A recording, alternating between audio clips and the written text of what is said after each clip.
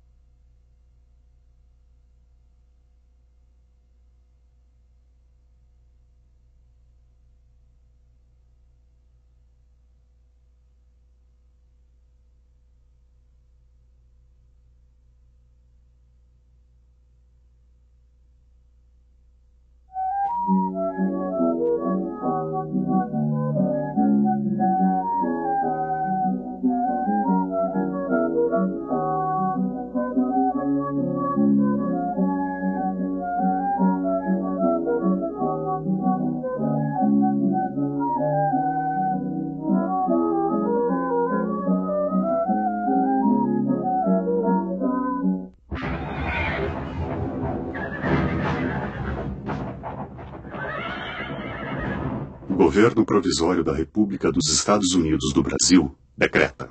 Artigo 1 Fica proclamada, provisoriamente e decretada como a forma de governo da nação brasileira a República Federativa. Artigo 2 As províncias do Brasil, reunidas pelo laço da Federação, ficam constituindo os Estados Unidos do Brasil. A proclamação da República se deveu a duas forças muito diferentes do ponto de vista social, do ponto de vista ideológico. Uma dessas forças era representada pelos partidos regionais. O principal partido regional era o Partido Republicano Paulista. Essas elites estavam muito mais preocupadas com os seus interesses em cada região. Qual era o sonho, digamos, da elite paulista, para simplificar, ou das grandes elites regionais? Era fazer uma república que fosse pouco centralizada. Quer dizer, em que o poder dos estados se tornasse muito amplo. Já os militares, que foram a outra força uh, que deu origem à república, tinham concepções uh, diferentes dessas elites civis. Era a ideia de uma república centralizada, muitas vezes mais autoritária. Os militares estavam muito mais preocupados com a unidade nacional.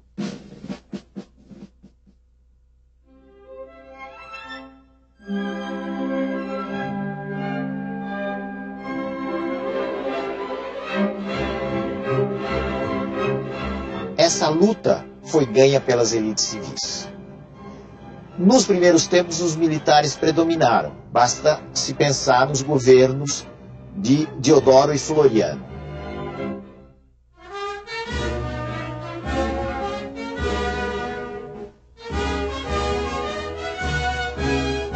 Mas logo depois se formou uma república civil.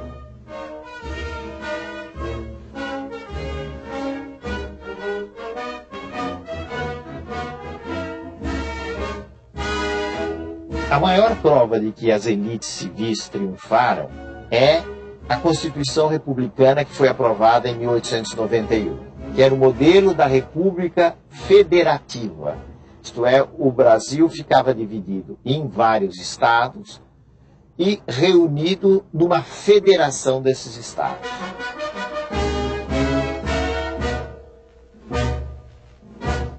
E além disso, essa Constituição, seguindo bastante o modelo americano, criou uma divisão de três poderes, pelo menos na teoria. Esses três poderes eram o poder executivo, que executa as leis, ou que encaminha leis para o Congresso, o poder legislativo, que faz as leis, né, a Câmara dos Deputados e o Senado, e o poder judiciário, que julga uh, o conflito entre os cidadãos ou então interpreta as leis, interpreta a Constituição. O que a Primeira República fez, em continuação com os últimos anos do Império, foi manter o voto só para as pessoas alfabetizadas. Mas, ao mesmo tempo, abriu um instrumento que, vamos dizer assim, convidava à fraude eleitoral. Esse instrumento era a inexistência do voto secreto. Como o voto era aberto, todo mundo sabia o voto de um determinado cidadão, a possibilidade de, do cidadão ser pressionado a votar em determinados candidatos, sobretudo no campo, era muito grande.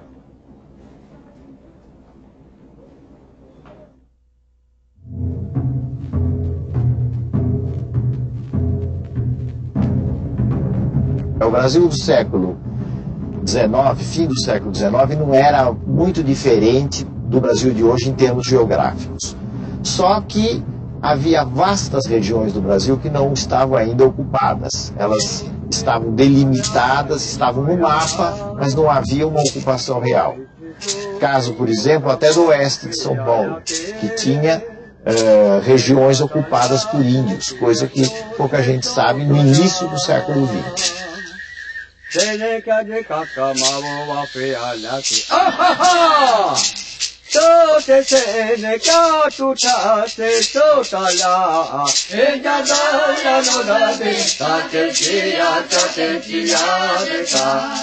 Há uma frase muito comum nessa época da Primeira República, fim do século XIX até 1930, de que o Brasil é um país essencialmente agrícola. Quer dizer, vamos nos fixar em atividades agrícolas e vamos esquecer tudo mais.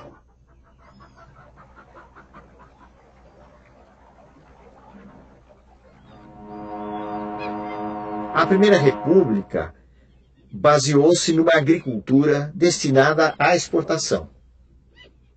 Todo o eixo, vamos dizer assim, do crescimento econômico estava voltado para a produção de determinados bens que seriam uh, vendidos no exterior. Do ponto de vista da população, da produção, houve um grande impulso da região centro-sul e do sul do país. O centro-sul, basicamente, por causa do café, e o sul, por causa da instalação da pequena propriedade, que foi uma coisa muito característica do Paraná, Santa Catarina e parte do Rio Grande do Sul.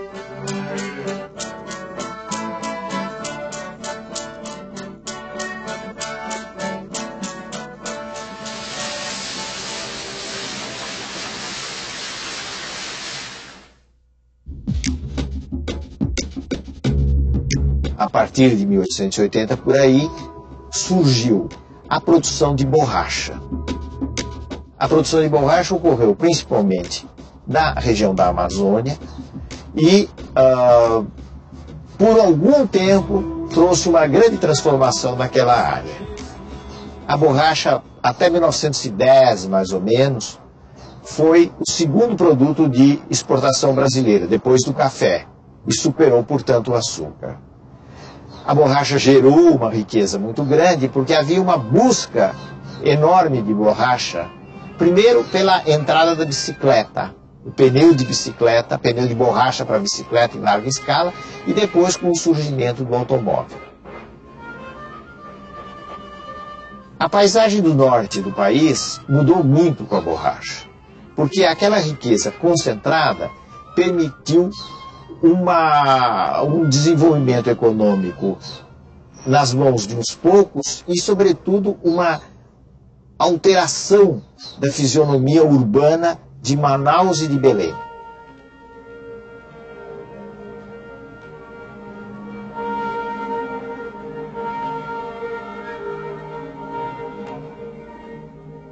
Até que surgiu a grande crise da borracha.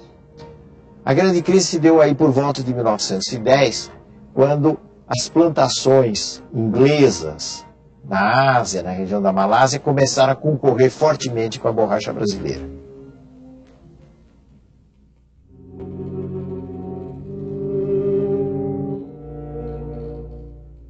Havia regiões do Brasil que progrediam muito, mas havia também amplas extensões no campo que eram extremamente pobres, com populações que ficaram à margem de todo esse progresso que ia se realizando no centro-sul, no sul do país. É o caso de alguns estados, ou de quase todos os estados do Nordeste.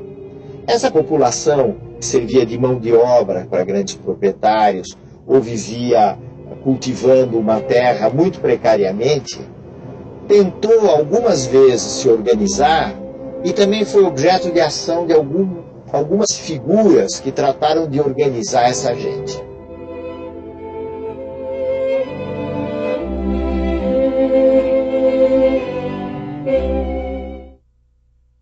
Dos movimentos no campo, o mais importante, o mais conhecido, foi o de Canudos, que se instalou no norte da Bahia, perto da cidade de Jeremoabo, entre 1893 até sua liquidação em 1897. O Arranhal tinha como figura é, central uma figura urbana, que era o Antônio Conselheiro, que era uma espécie de figura de um missionário. E o conselheiro foi muito hábil em reunir sertanejos atacados pela seca, pelas más condições de vida, e que buscaram no Arraial de, de Canudos uma forma comunitária de melhores condições da sua existência, ou dar mais sentido à sua existência.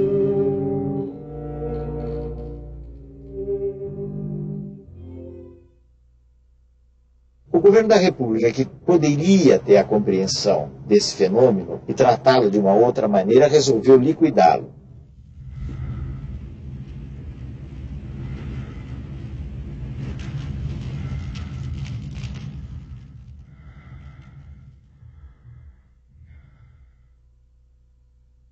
Canudos não se rendeu. Exemplo único em toda a história, resistiu até ao esgotamento completo, expugnado palmo a palmo, na precisão integral do termo. Caiu no dia 5, ao entardecer. Quando caíram os seus últimos defensores, que todos morreram. Eram quatro apenas. Um velho, dois homens feitos e uma criança, na frente dos quais rugiam raivosamente cinco mil soldados.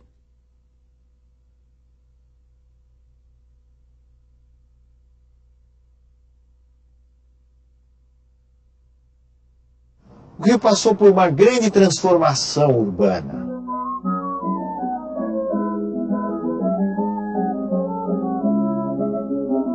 Por exemplo, a Avenida Rio Branco foi uh, aberta no, no, início da República e foram feitas também muitas uh, transformações que envolveram sacrifícios para pessoas pobres que moravam no centro da cidade e que tiveram que se deslocar ou para os subúrbios ou para as favelas que estavam começando a crescer nos morros do Rio de Janeiro.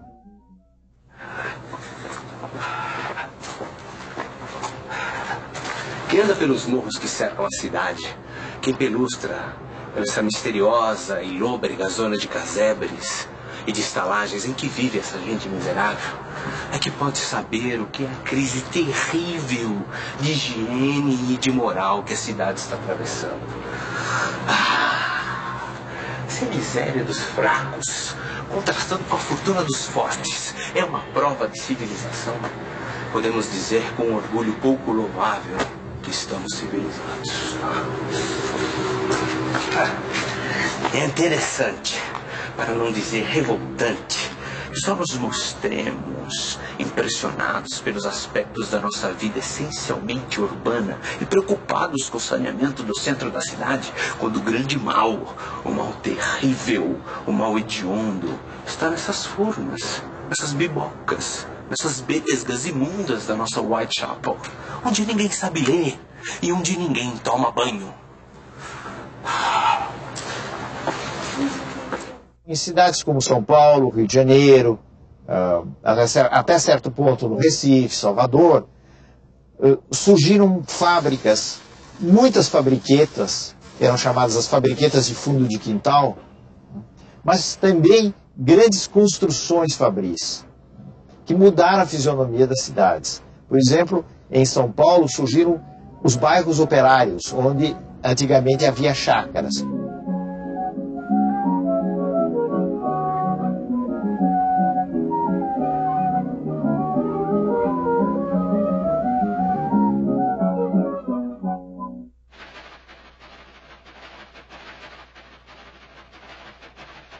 Esse impulso, no caso de São Paulo, foi muito gerado através da própria atividade cafeeira, através do próprio negócio do café. Por quê? Porque o café gerou uma grande expansão econômica, uma urbanização, quer dizer, as cidades cresceram muito, a cidade de São Paulo cresceu muito, e criou assim um mercado interno, um mercado para os produtos industriais. Foi por essa via que as indústrias começaram a crescer no país.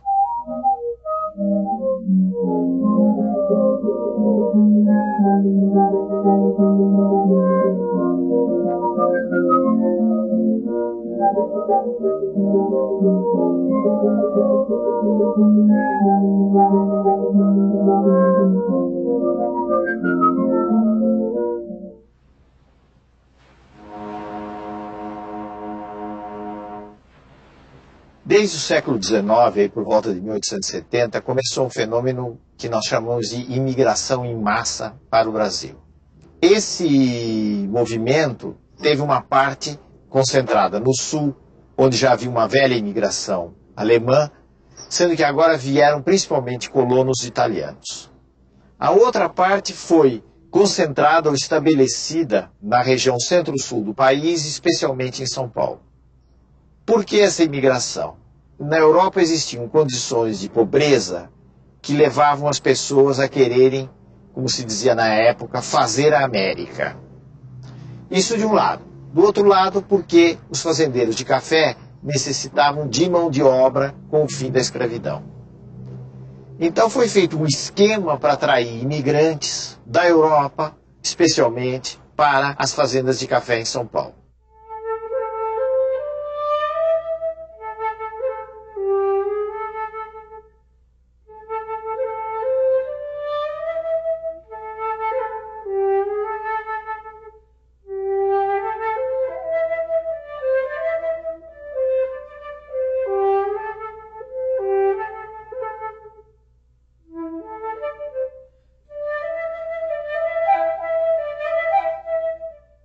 Os imigrantes que vieram para o Brasil em grande número foram os principais responsáveis pela introdução no Brasil de uma série de ideias que a gente genericamente possa pode chamar de ideias socialistas. Dentre essas ideias, talvez a ideia mais importante no caso brasileiro foi a dos anarquistas.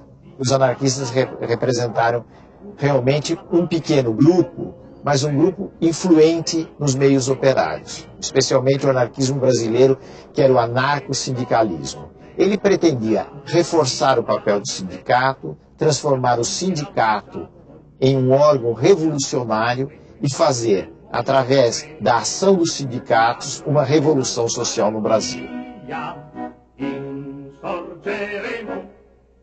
Mas é preciso lembrar que entre essas pretensões e a realidade do país, existia uma distância muito grande. Então, os anarquistas, na realidade, ah, foram defensores de direitos dos trabalhadores. Oito horas de trabalho, igualdade de salário para as mulheres e os homens, coisas desse tipo que eram muito importantes, estavam próximas da realidade e ao mesmo tempo não tinham nada de revolucionários.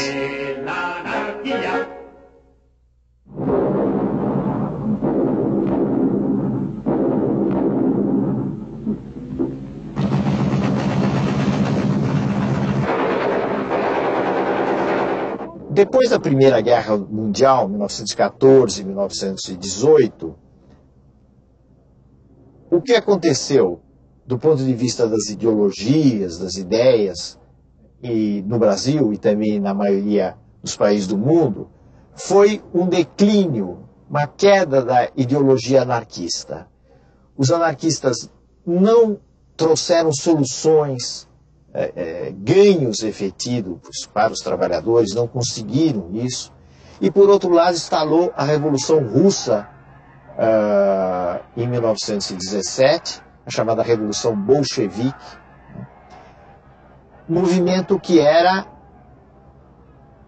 adversário dos uh, anarquistas na medida em que ele dava muita importância a um socialismo de Estado. No Brasil, isso deu origem à formação do Partido Comunista do Brasil em 1922. A organização dos trabalhadores nesse período 1890 a 1930 foi bastante frágil, mas houve alguns momentos de grande efervescência. Esses momentos se concentraram entre os anos 1917 e 1921, quando, eh, em consequência da caristia, houve greves importantes em São Paulo, no Rio de Janeiro e nos principais portos do Brasil.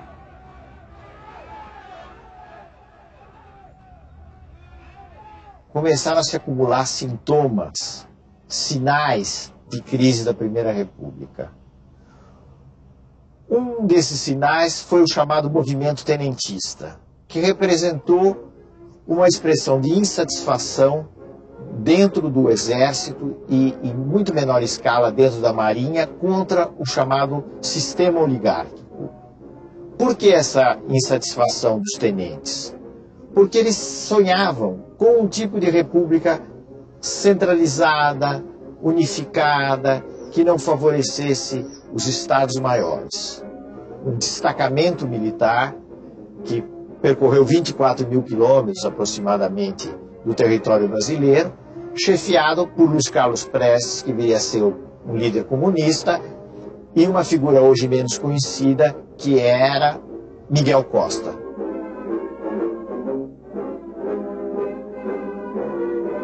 Por volta de 1927, o, o movimento terminou. É, perdeu, de certo modo, o seu caminho, grande parte dos tenentes se exilaram na Bolívia, na Argentina, outros foram presos, e vamos dizer, o tenentismo ficou mais ou menos entre parênteses.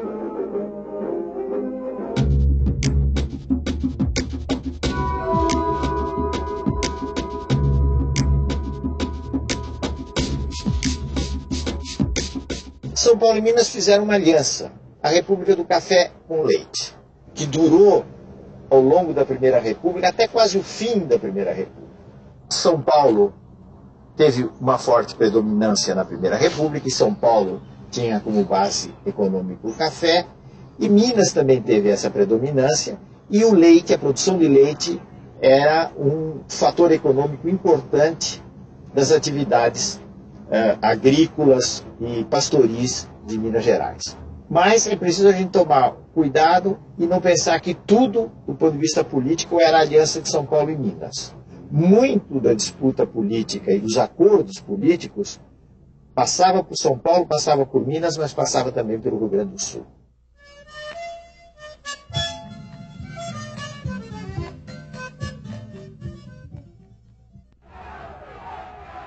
Para as eleições de 1930, aconteceu uma quebra da Aliança São Paulo e Minas. Como consequência disso, Minas se aliou ao Rio Grande do Sul e lançou o nome de Getúlio Vargas à presidência da República. A aliança,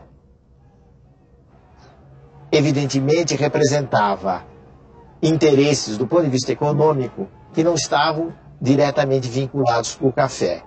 Minas, especialmente o Rio Grande do Sul, e outros estados do Nordeste que deram apoio a essa aliança, chamada de Aliança Liberal. A Aliança Liberal perdeu as eleições de 1930. O que significa que em 1 de março de 1930 Getúlio foi derrotado.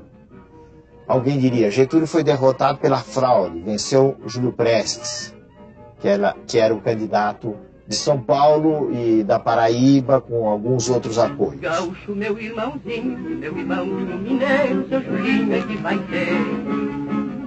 Porque cidade Julinho é um caboclo brasileiro, brasileiro como quer. O que houve de novo naquela altura foi o fato de que um setor da oposição civil, um setor da Aliança Liberal, principalmente os nomes mais jovens, não se conformaram com o resultado das eleições e resolveram apelar para uma revolução. Esse era o dado novo entre março e outubro de 1930. Ora, para fazer uma revolução, eles precisariam, naturalmente, de força armada. E eles foram buscar velhos inimigos deles, que eram os tenentes. A grande maioria dessas elites da Aliança Liberal haviam combatido os tenentes. Os tenentes estavam no exílio ou estavam meio na sombra e agora representava uma carta importante para se estourar uma revolução.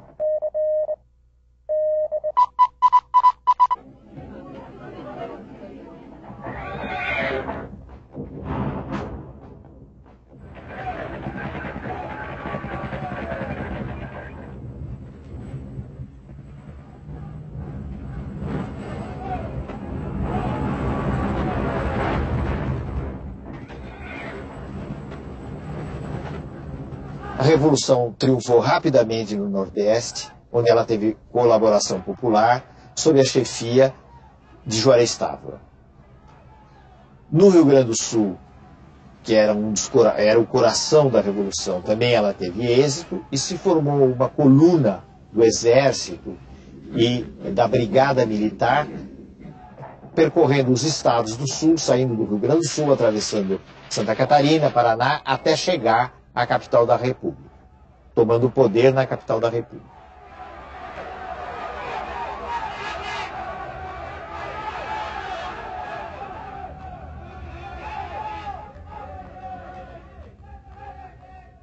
No próximo programa, Getúlio Vargas no poder.